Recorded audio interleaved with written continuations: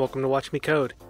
If you've been following along with Watch Me Code for a while now, you've probably seen some of my previous screencast series covering things like Mongoose.js fundamentals, the Pro Express.js series, where I cover all things Express and how I use it, even the Complete RabbitMQ series, where I cover in depth on how to work with RabbitMQ, including all of the additional things that I built for it inside of the Complete RabbitMQ for Developers bundle.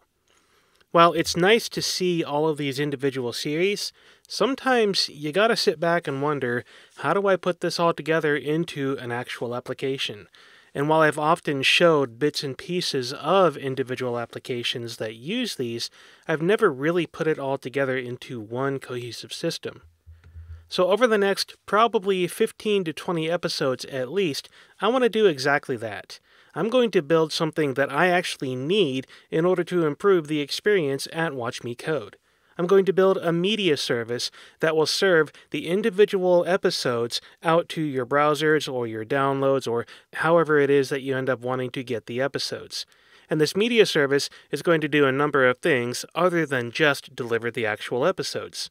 It's going to track which episodes have been downloaded.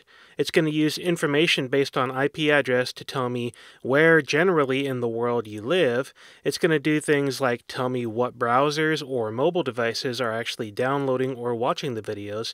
And it's going to give me a bunch of reports based on all of this information so that I can see which episodes are the most important to people, which ones are the most popular, and where in the world people are actually using my videos. It's going to be a nice little system, and it's going to have a lot more features than just what I've described so far. There's going to be a lot of details in here that I want to cover while I'm actually building it. And I'm going to be building this while you're watching me do it through the Watch Me Code screencast series.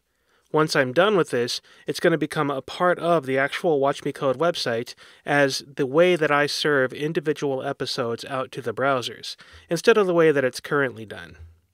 For example, if you if you head over to the Watch Me Code website right now, pick any random screencast that you want to, you'll see in this download link that there's this odd little URL that's formed based on Amazon AWS. And if I pull up a text editor and paste that in there, this is a ridiculously long and awkward URL to have. Well, this URL is something special, though. It's a pre signed URL with security around the actual download from Amazon. So this is using Amazon S3 to store the actual download, and it's using this pre-signed URL to give this particular download link a timeout limit so that it can be downloaded as needed.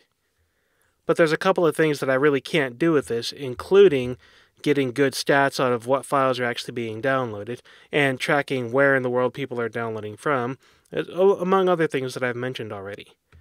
So the service that I'm going to build for you in Watch Me Code is going to be this download service, but also the service that will host the actual episodes to play right here. And as we progress through the service, you're going to see a lot of different features and capabilities built in using a lot of different technologies, including, of course, Node.js and Express.js, but also things like Amazon S3, Keen.io for statistics and reporting, Raygun.io for error tracking in production environments, MongoDB, RabbitMQ, and how all of these things integrate together into one cohesive system.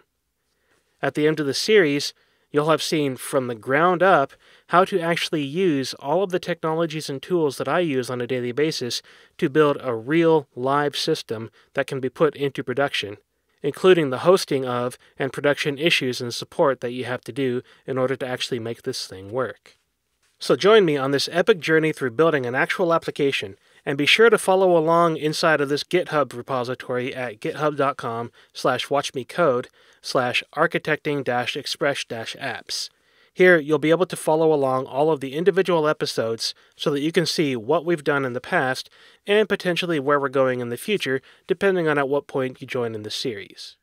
I hope you're ready for this incredible journey as we get ready to start building a production application using all of the tools, techniques, and technologies that you've already seen in Watch Me Code.